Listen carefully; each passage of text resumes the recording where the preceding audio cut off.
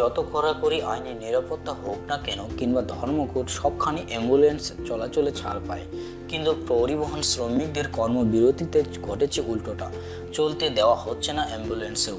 আজ সকাল থেকে রাজধানীর বিভিন্ন স্থানে এমন চিত্র দেখা যায়। রাজধানীর যাত্রাবাড়ি, গাবতলী, উত্তরা, মহাখালী, নারায়ণগঞ্জের সাইনবোর্ড সহ বিভিন্ন স্থানে দেখা যায় পরিবহন শ্রমিকরা ধর্মঘটের কারণে অনেক স্থানে যানবাহন চলতে দিচ্ছে না।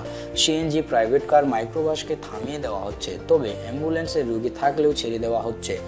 রুগী না থাকলে আটকে দিয়ে ড্রাইভারের মুখে পড়া মোবিল মাখিয়ে দেওয়া হচ্ছে। গাড়িতে মোবিল দেওয়া ওই ড্রাইভারের মুখ মুখে কালি দেওয়ার বেশ কয়েকটি ছবি এর মধ্যেই ফেসবুকে ভাইরাল হয়ে যায়। সড়ক পরিবহনের আইনের কয়েকটি ধারা বাতিল সহ আট দফা দাবিতে সারা দেশে শ্রমিকদের ডাকা। টানা আটচল্লিশ ঘণ্টার কর্মবিরতি শুরু হয়েছে। রাজধানী ঢাকা সহ দেশব্যাপী শুরু হওয়া এই কর্মবিরতিতে রাস্তাঘাটে গণপরিবহন না থাকায় চরম ভোগান্তিতে পড়েছে দেশের সাধারণ মানুষ। শুধু তাই নয়, বিশ্ববিদ্যালয়ের ভর্তি পরীক্ষায় অংশ নেওয়া শিক্ষার্থীরা বিপদে পড়েছেন যানবাহন না পেয়ে।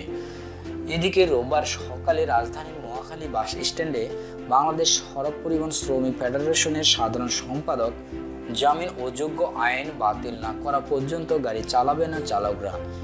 সরকারের সংশ্লিষ্টতা মন্ত্রণালয় যদি না বসে, তাহলে কর্মসূচি আরও দীর্ঘায়িত করবে। আটচল্লিশ ঘণ্টার শেষে ছিয়ানব্বই ঘণ্টার ধর্মঘট চলবে। এরপর লাগাতার কর্মবিরতিতে যাবে।